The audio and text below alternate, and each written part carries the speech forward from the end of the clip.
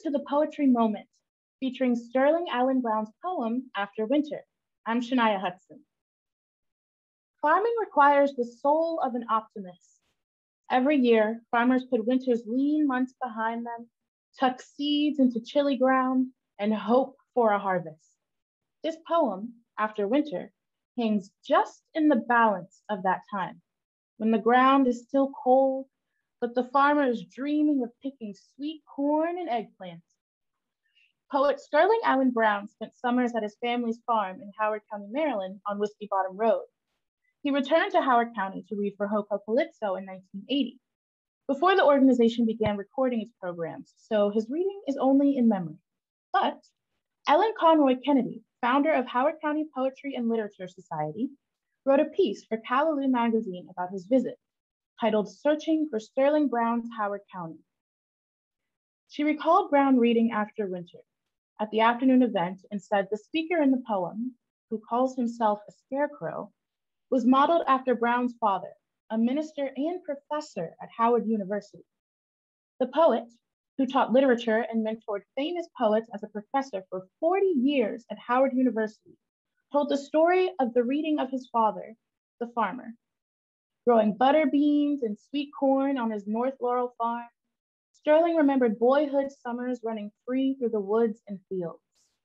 In fact, when he signed a copy for Kennedy of his collection of poetry, after correcting some typos and making some notes in the book about missing poems, he wrote, with memories of a warm reception of my poetry reading in Columbia on April 27, 1980. I feel close to Howard County since I spent the summers of my early boyhood and young manhood on a farm on Whiskey Bottom Road, so it was good to come home again before signing his name. Kennedy won a grant for HoCoPoLitSo to commission two historians to research Brown's farm. The researchers found that the poet's father purchased 100 acres in 1911 as a summer retreat from Washington, D.C., and how Brown's ancestors had worked farms as enslaved people. The Brown family probably took the B&O Railroad to the Laurel or Annapolis Junction station in the early part of the 20th century, then rode a buggy to the farm.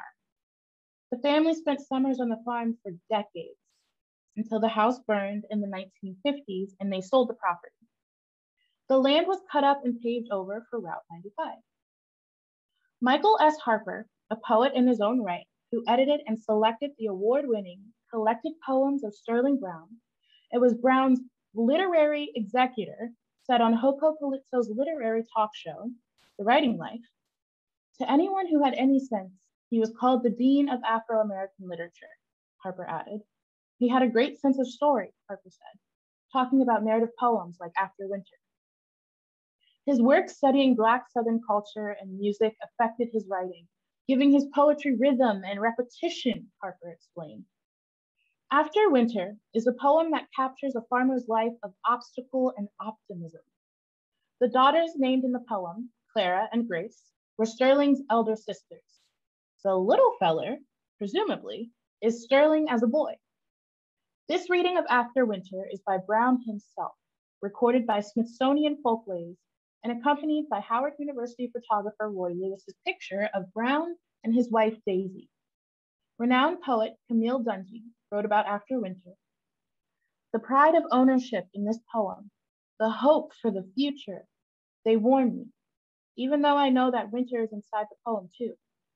As the back and forth placement of the stanzas suggests, this poem is unstable. It ends in an ellipses and the unfinished repeated thought. There is nothing certain or permanent about it. But oh, oh, good gracious, there is in it a home for hope. And now, After Winter by Sterling Allen Brown. After winter, he snuggles his fingers in the blacker loam. The lean months are done with, the fat to come. His eyes are set on a brushwood fire but his heart is soaring higher and higher. Though he stands ragged, an old scarecrow, this is the way his swift thoughts go.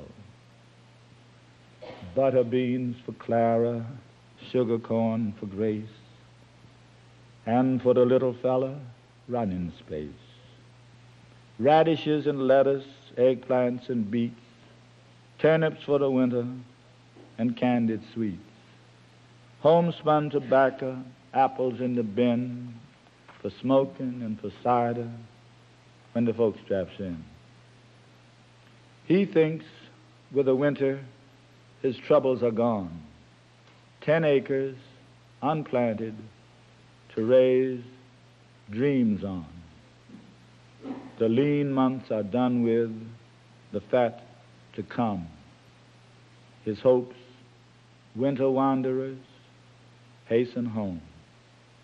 Butter beans for Clara, sugar corn for Grace, and for the little fella, running space.